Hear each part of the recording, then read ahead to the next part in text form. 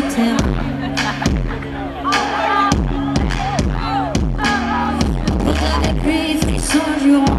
on est les